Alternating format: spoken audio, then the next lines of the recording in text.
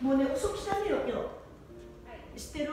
あの錦糸町からさ総武線乗ってそこからあの山手線乗り継ぎったんですよそれで私は田端にって思ってたのになぜか新走りでどうのこうのって言ってるえ？慌てて戻ってさそれで先生に連絡してあるもんだからさ来ないわけいかないから。遅くなったけど来た。そう遅く来たのよ。あのだって先生降りなかったら私品川まで行ったら高田の馬場で通るから。そうすると降りたくなるじゃん。はい帰りたくなっちゃうじゃん。先生に連絡し言った以上来ないとダメと思って。はいそれで 来たの。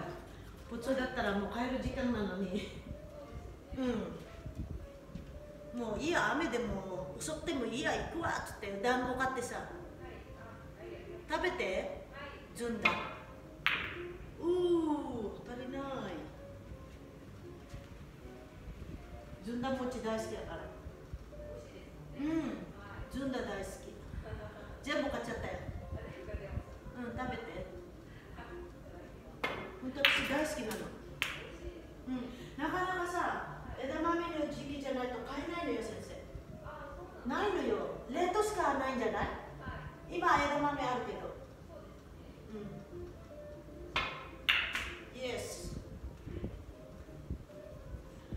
パンデミックのうちに先生閉まってなかったんだってここ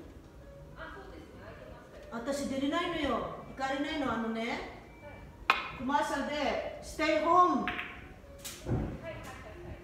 あのプロダクション作ったからモデルだから私仕事。で私がステイホームって言ったら権利がないじゃん。出にくいのだから